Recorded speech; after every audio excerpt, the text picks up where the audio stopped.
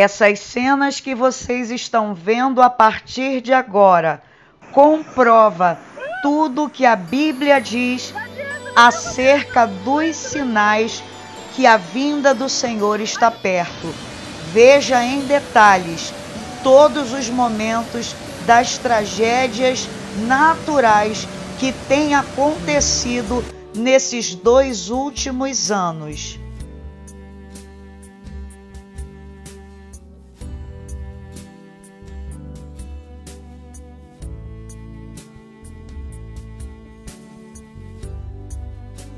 Os sinais de que Ele está às portas.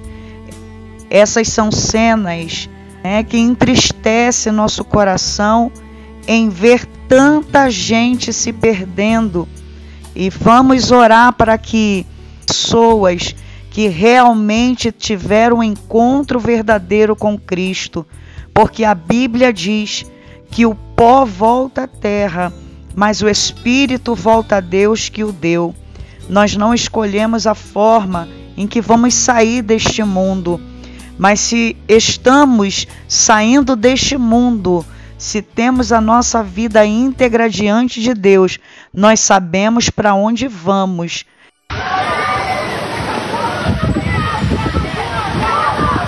E estamos vivendo hoje momentos em que a terra está gritando como um sinal de que ele está às portas. A Bíblia diz que quando Jesus estava no Monte das Oliveiras e os seus discípulos perguntaram para Jesus: Senhor, quando tudo isso acontecerá e que sinais se darão, né, se antecederão a tua vinda? Jesus, na sua palavra, em Mateus 24, ele vai dizer que haverá reino contra reino, nação contra nação, filho contra pai, irmão contra irmão. Haverá peste, praga, terremotos, fome, mas isso ainda não é o fim, é apenas o princípio de dores. A Bíblia diz: assim como o relâmpago que sai do Oriente e se mostra no Ocidente, assim será também a vinda do Filho do Homem. O que muitos pregavam antigamente, os avós, os pais passavam para os filhos, que eles pensavam que seriam coisas que nunca ia acontecer hoje são as principais manchetes de jornais, de vídeos, de documentários. Povo de Deus, se desperte. Se você está na presença de Deus, busque estar preparado e apregoe esta palavra, porque a Bíblia diz que esse evangelho será pregado em todo o mundo em testemunho a todas as gentes, então virá o fim. A responsabilidade de levar a palavra é nossa, porque dentre essa tragédia é preciso que todos ouçam a palavra, entendam e se arrependam dos seus pecados e reconheçam a Deus, a Jesus, como seu único e suficiente Salvador.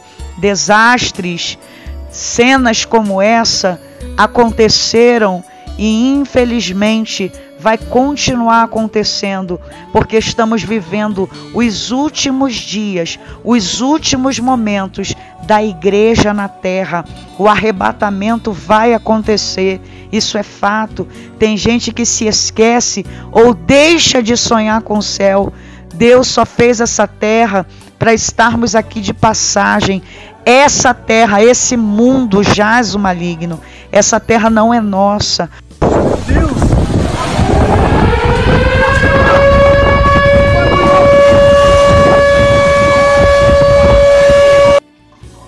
Os sinais estão em toda parte. Desperta. Estamos vivendo os últimos dias da Igreja de Cristo na Terra. Cenas e sinais, acontecimentos nunca vistos nesses três últimos anos. Essas cenas é o céu de São Paulo que fica assim de repente.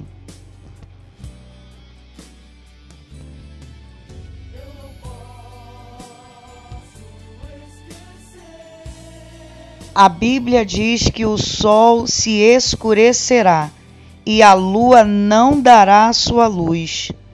Os sinais estão acontecendo. Meu Deus! Desperta, igreja. São três horas da tarde. Ó, tá assim lá fora. Meu Deus! Do lado de lá tá claro, desse lado tá preto. Meu Deus, três horas da tarde. A Bíblia diz que haverá uma grande aflição, tal como nunca houve nem nunca haverá. Já está acontecendo os sinais. Desperta, esteja preparado, porque ele virá num abrir e fechar de olhos.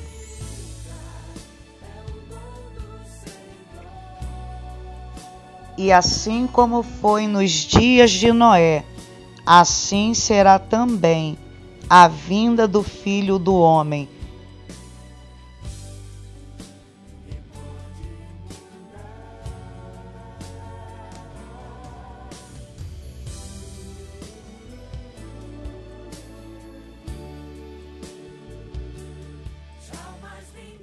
O lugar aonde Deus preparou e vai nos levar é nos céus, aonde reinaremos com Cristo para sempre. Se você está assistindo esse vídeo, pare e reflita sobre a sua vida, de como você tem levado a sua vida. Os sinais estão por toda parte.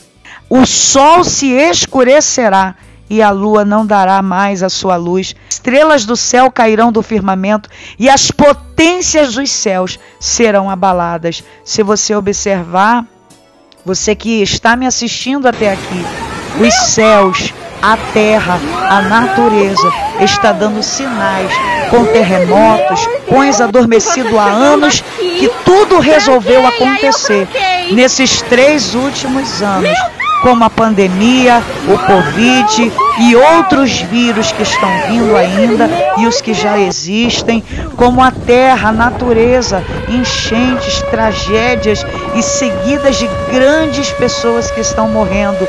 Para quem morre hoje, povo, o arrebatamento já aconteceu. Que possamos estar preparados. Deus os abençoe. Se inscreva em nosso canal e deixa o seu, o seu joinha, compartilhe esse vídeo para que mais e mais pessoas possam alcançar esta palavra. Esteja preparado e se você puder, comente nesse vídeo o que você achou desse vídeo e dê aqui para gente sugestões para que o próximo vídeo seja o seu comentário que será escolhido. Deus abençoe em nome de Jesus.